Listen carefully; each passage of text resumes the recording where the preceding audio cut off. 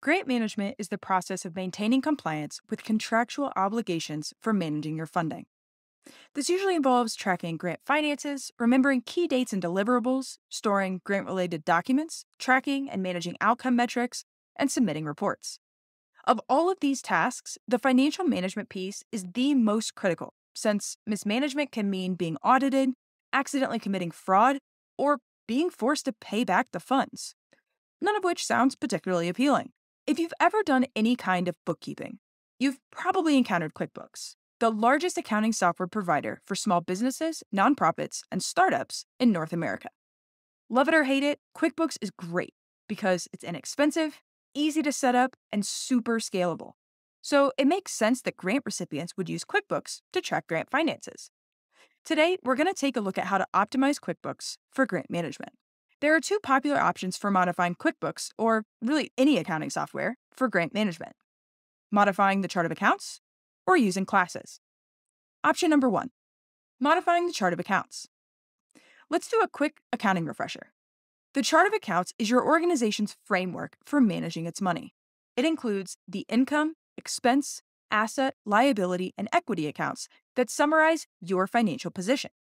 Think of it this way when you enter a transaction in your accounting software, you have to choose an account to attribute that money to, such as salaries, income, loan payments, or utilities. That category is one account in your larger chart of accounts. When you produce a financial report, such as an income statement or a balance sheet, you're generating a summary of your financial position by adding up the transactions within each of your accounts over a given period of time. So, what does all of that accounting stuff have to do with grant management?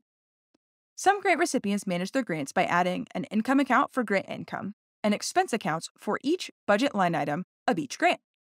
That way, they can attribute all of their grant income and expenses to the proper accounts and can generate financial reports that can then be exported to a spreadsheet and condensed to show only grant specific information.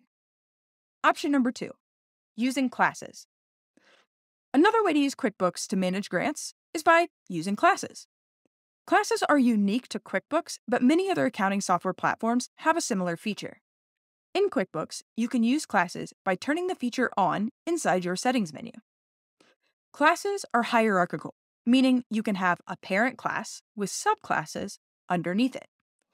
Given this format, some grant recipients will create a class for each grant and subclasses for each budget line item underneath that grant. Using classes essentially turns your financial reports into matrices or pivot tables.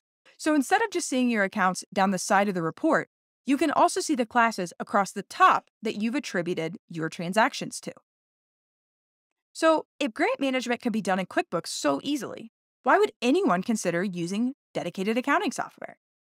Let's look at the chart of accounts method first. From an accounting perspective, Modifying your chart of accounts for a temporary source of funding is not usually a great idea. The purpose of financial reports is to see your financial position over time. But if the accounts that you use are constantly changing, you can't make period over period comparisons. So, why not just keep all of the temporary grant accounts? Because over time, your chart of accounts will become bulky and unmanageable. Remember that your coworkers, board, grant funders, CPA, and other key stakeholders have to be able to read and interpret financial documents, so consistency is key. So, is using classes a better option? Actually, yes, but it's still inadequate. The big benefit with classes is that it removes the grant tracking from the chart of accounts. So you do have consistent period over period data. But honestly, that's where the benefits end. One problem with using classes is that QuickBooks has a limit on how many you can have. So you can't keep a historical record of your grant spending, especially if you're a grant heavy organization. Another problem is that financial reports that show classes are messy, like really messy. When I was a grant consultant, I had a nonprofit client with about a dozen grants, and their income statement by class was literally 100 columns wide.